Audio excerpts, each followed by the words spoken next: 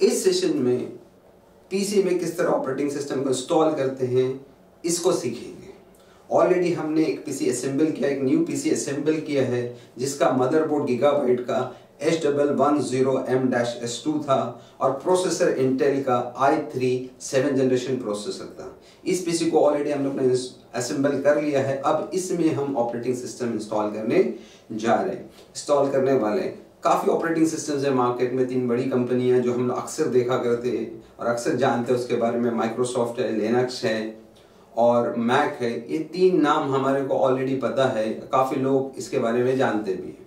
तो हम जो ऑपरेटिंग सिस्टम हमने जो सेलेक्ट की है वो माइक्रोसॉफ्ट की Windows seven sixty four bit service pack one पे और अल्टीमेट वर्जन है ये। इस ऑपरेटिंग सिस्टम को हम पीसी में इंस्टॉल करेंगे।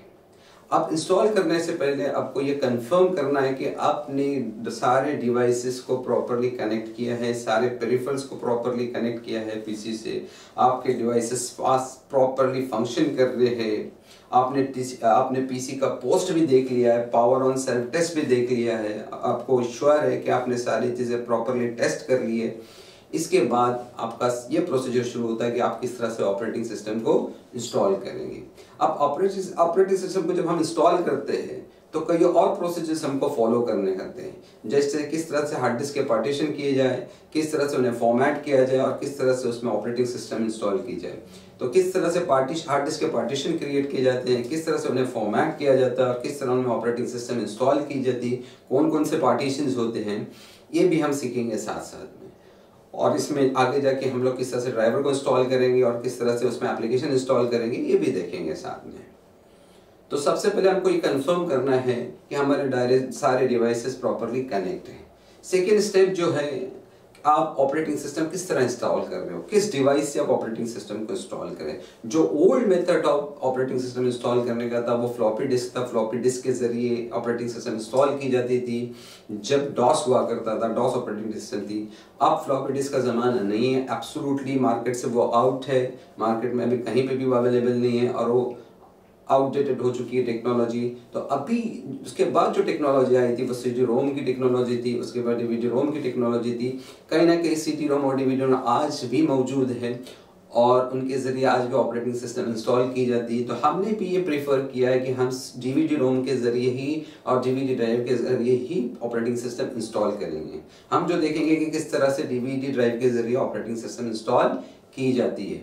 और भी ऑप्शन है ऑपरेटिंग सिस्टम को इंस्टॉल करने के। आप नेटवर्क कार्ड के ज़रिए इंस्टॉल कर सकते हो पेन ड्राइव के ज़रिए इंस्टॉल कर सकते हो। तो अदर ऑप्शन भी अवेलेबल है ऑपरेटिंग सिस्टम को इंस्टॉल करने के लिए। बट यहाँ पे जो हमने ऑप्शन चूज़ किया है, वो डीवीडी ड्राइव को चूज़ किया और specially external DVD USB external DVD drive को चूज़ किया है।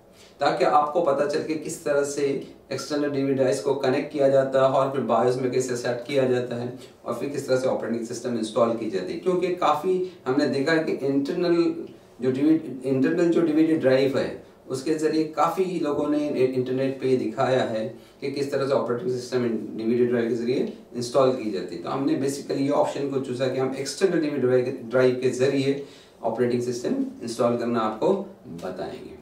तो आपके पास विंडोज़ की सीडी होना ज़रूरी है और आपके साथ में एक्सटर्नल डीवी ड्राइव भी होना ज़रूरी है। और थोड़ी बेसिक इन्फॉर्मेशन आपको बायोस के बारे में भी होना ज़रूरी है। जैसे ही हम किसी को ऑन करेंगे, किस तरह से बायोस में इंटर किया जाता है बेसिक इनपुट आउटपुट सिस्टम में किस तरह से इंटर किया जाता है और किस तरह से बेसिक सेटअप किए जाते ताकि हम ऑपरेटिंग सिस्टम को इंस्टॉल कर सकें। जब हमारी डिस्क फॉर्मेटेड नहीं होती है, कि हमने एक पार्टीशन नहीं क्रिएट किए होते हार्ड डिस्क में तो हमको सबसे पहले जो बूट सिस्टम है, वो एक्सटर्नल डीवीडी ड्राइव या इंटरनल डीवीडी ड्राइव या और किसी डिवाइस के ज़रिए करना होता है सेट करना होता है बायोस में जाके। प्रायोरिटी हमको, उनको देनी होती है कि हमको एक्सटर्नल सीडी ड्राइव से या इंटरनल सीडी ड्राइव से हमको बूट करना है। और फिर बूट करने के बाद आपकी फॉर्मेटिंग प्रोसीजर शुरू हो जाता है। अब एक चीज़ को और ध्यान रखिए। ये जो ऑपरेटिंग सिस्टम सीडी में है ये इंस्टॉलेबल ऑपरेटिंग सिस्टम बोली जाती है। मतलब इसके ज़रिए ऑपरेटिंग सिस्टम को हार्ड डिस्क में इंस्टॉल किया जाता है। और जब ये हार्ड डिस्क में हम इंस्टॉल कर जा, कर देते हैं तो वो हार्ड डिस्क वो ऑपरेटिंग सिस्टम बन जाते हैं इंस्टॉल्ड ऑपरेटिंग सिस्टम मतलब उस ऑपरेटिंग सिस्टम के ज़रिए अब फिर किसी और पीसी में जाकर इंस्टॉल नहीं कर सकते। स्पेशली इंस्टॉलेबल ऑपरेटिंग सिस्टम के ज़रिए ही पीसी को इंस्टॉल करना सही फॉर्मेट है, सही वे है।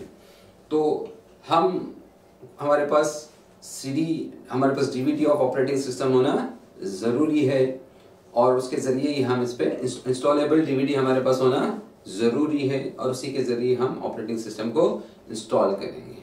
कई चीज़ें आपको ध्यान में रखनी इंस्टॉल करते हुए कि आपको प्रॉपरली मॉनिटर पे ध्यान रखना है, आपको बायो सेटअप पे ध्यान रखना है, आपके पास कई विंडोज़ सामने आएगी, कई मैसेजेस आपके पास सामने आएँगे, उन मैसेज को प्रॉपरली रीड करना है, फिर ही आगे बढ़ना है। तो अब हम सेशन की तरफ़ चलते हैं इंस्टॉलेशन की तरफ़ चलते हैं।